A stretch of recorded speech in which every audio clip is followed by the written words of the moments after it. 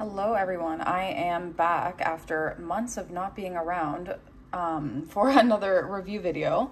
So the last five months I've been so busy. I have moved out of my house um, and I have not really been had time to review anything new. And also throughout the summer, David's Tea didn't really release anything like amazing or new.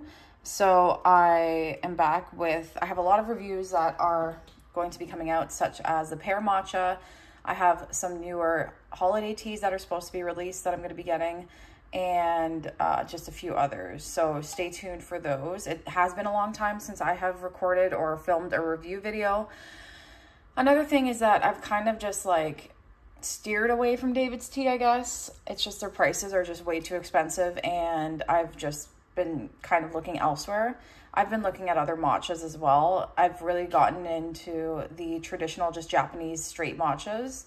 Uh, it's kind of blowing up on TikTok and everyone's going insane. Apparently they've like sold out of like, they can't produce any more tea leaves for the matcha to like be made for the rest of the year. I There's like a shortage or something. So um, anyways, but today we're going to be reviewing David's Tea's Toasted Marshmallow Matcha. So this matcha is new. I think it's ten ninety eight per 50 grams. Uh, it smells kind of like, it does smell like marshmallowy, I guess you could say. Um, yeah, this tiny little bag, which by the way, they're, if you're making a latte with David's Tea's matcha, um, you only get, so I use two of these for the David's Tea matcha for a latte just because of how much sugar is in it and there's not a lot of matcha.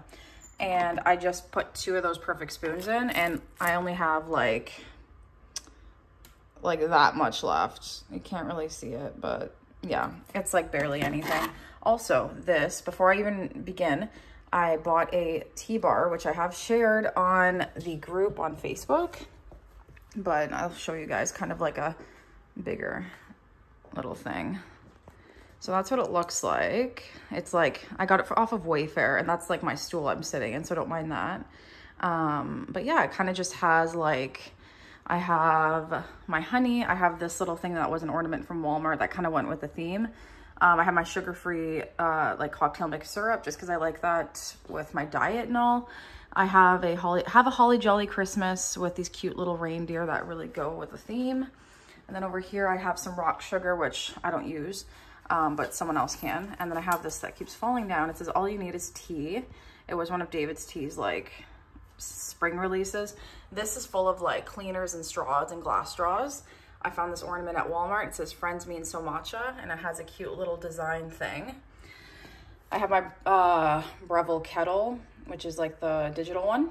This just has like my Sharpie marker for my cold brews and then like spoon sifters, cute little nutcracker. I have all of like the everyday mugs that I use, kind of just hanging out there. I have this cute Merry and Bright sign. Um, this I'm making into a latte. This is Candy Cane by Bird and Blend. I'm making that after my review. I got my milk ready too. Um, I have my frother, these cute little deer. Down here, they have like sliding doors. I have my Bird and Blend down there and just some random tins. Uh, those are extra bags and just like my other matchas because I don't really have space for those. And then I have like my lid for my frother. I have my bowls, my, that's an extra pump. This is like the thing that I got when my one dog passed away. I didn't know where to put it. So I was like, okay. I got some like clear lids down there. And then on this side, I just have my cold brew jars, rock sugar. Those are Weck uh, jars I like to use for my matcha. These are like, this is like the traditional matcha I was telling you guys about. Um, and then I'll show you actually. I'll go in my fridge here. So these are the matchas I'm talking about. Like you've probably seen them. They've been going viral. Uh, there's that one. This one my girlfriend actually got for me in Japan. But this one's really popular. And then I have like this huge one. So yeah, these are like selling out everywhere. They don't have, and this is just like a traditional matcha. Like there's no flavoring, no sweeteners, no nothing. And it's just a nice change. I do like it. So yeah. And then I will show you guys kind of like my mug wall. I moved my mug wall, my tins, so they're kind of like here. Um, yeah, it's a little dark in here, but I got that kind of all sorted out there. Let me put this back in place. All right, so let's get on with this review. All right, so um, the ingredients in this one are cane sugar, matcha green tea, and marshmallow flavoring. It's all organic. So um, I just made it into an iced latte. It, like, look, even the color, like if I show you guys, sorry, I know you guys are probably like, just get on with the review. Like, if I put this like side by side, look at the color. Look at how vibrant green this one is. This is one of the um, Japanese matchas I showed you. And then look at this one, like no color at all. I actually think that David's Tea's coloring has gotten even worse, their matchas. Look how it's like not even green. It's like a, yeah, their colorings have gotten so much worse. They're putting so much more additives and sugar in it just so that they can make a few extra dollars and not spend money on matcha. That's what they're doing. So if you guys want to I actually haven't drank in a David's a new David's Tea matcha in five or six months. So this is very new to me. So I'm gonna give it a try. Mmm. Oh, it's weird. It tastes like uh doesn't really taste marshmallow. It tastes like um like a like a yogurt that has gone bad. Hmm.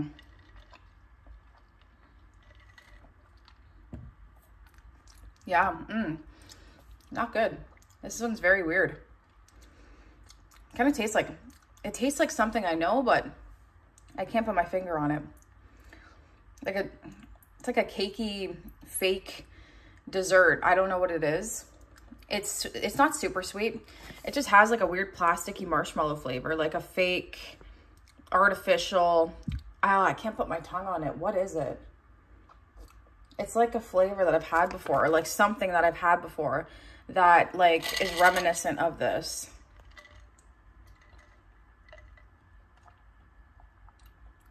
Yeah, I can't put my tongue on it.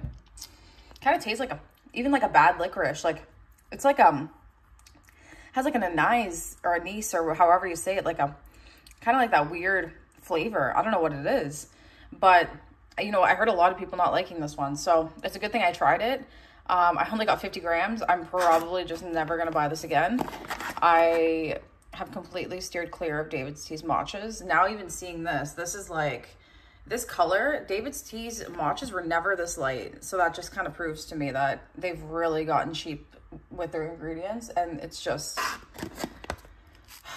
it's just not good.